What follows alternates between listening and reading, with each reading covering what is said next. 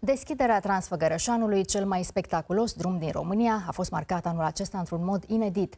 Trei sportivi au sărit dintr-un elicopter și au planat de-a lungul șoselei în costume speciale de zbor fără propulsie. Evenimentul este de referință pentru turismul local și pentru șoferii care explorează locul an de an.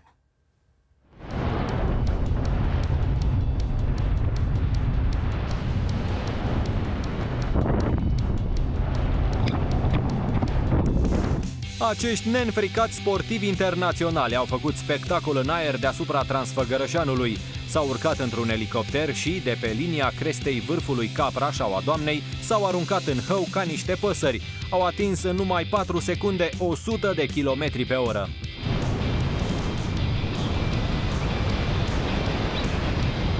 Este primul zbor de acest fel făcut peste serpentinele amețitoare ale Transfăgărășanului de la o altitudine de peste 4000 de metri. Imaginile filmate deasupra munților printre nori îți taie pur și simplu respirația. When I saw the Transfăgărășan road from above was like it was quite uh, I mean, it's massive. Huh? It's a huge road in a huge valley, and uh, it was really nice because I, I like the wildlife. You, you really feel it, you know, you see it from above really good because there is nothing.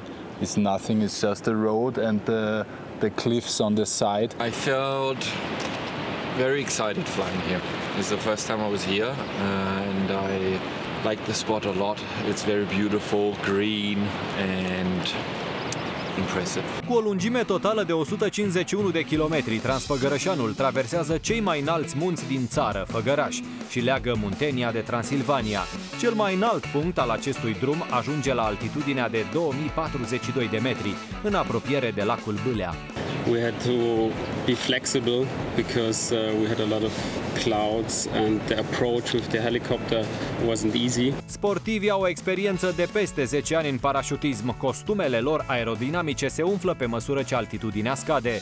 Denumit și wingsuit flying, sportul poate fi efectuat de pe zgârie nori, iar uneori temerarii se avântă printre stânci înguste. Cei mai experimentați pot chiar să aterizeze într-un avion aflat în mișcare. Urmărește cele mai tari show-uri integral pe ProTV+.